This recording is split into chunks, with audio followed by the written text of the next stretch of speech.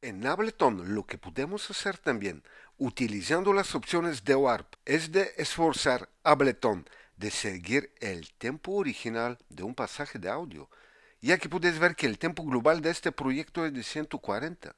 Aquí el tempo de este pasaje es de 144, este es de 136, este pasaje de audio es de 140 de nuevo, y este es de 126. Pero utilizando las opciones de Warp, Ableton está esforzando un archivo de audio que se reproduzca y que se sincroniza con el tiempo global de mi proyecto.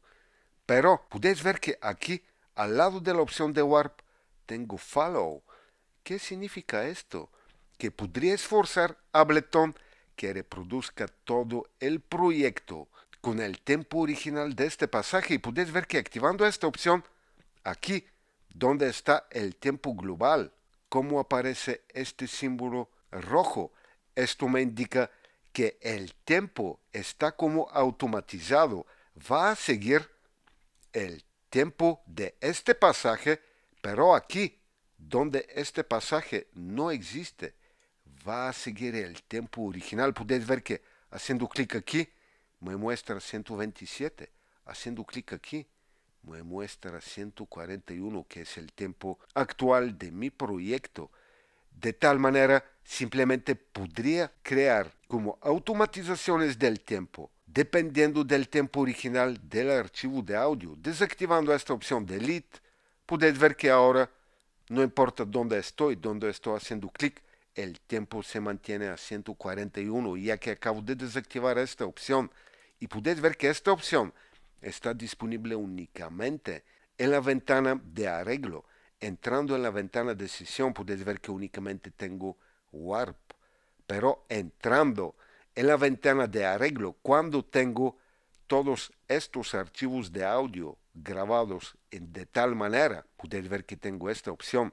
Y podéis ver, por ejemplo, digamos que me gustaría que exactamente aquí el tiempo cambia a 140, por ejemplo, podría cambiarlo solo para mostrarle a 136.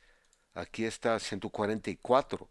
Activando aquí la opción de Follow y activando la visualización de automatización, podéis ver que ahora aquí también voy a activar Follow y observando exactamente la pista de master, podéis ver estos cambios aquí exactamente me las muestra, activando la opción de follow. Por ejemplo, en otra pista vamos a activarla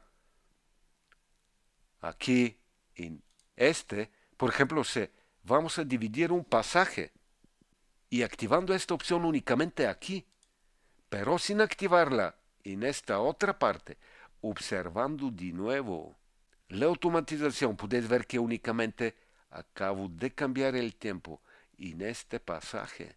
En este no activado la opción de follow, pero activándola, podéis observar ahora cómo va a cambiar aquí la línea de tiempo. Podéis ver, dependiendo si tengo esta opción activada o no.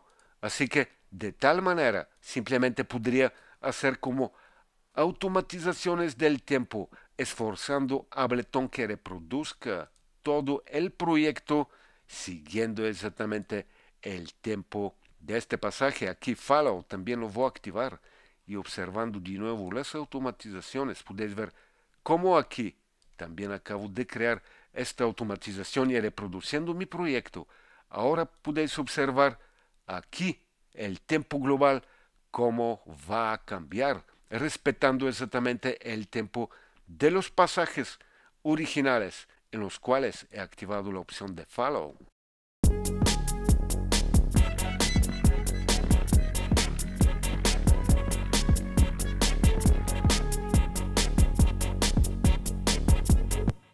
Podéis ver que en el momento que ya no el cursor de reproducción está encima de este pasaje, como el tiempo acaba de cambiar a 141, que es el tiempo original de mi proyecto.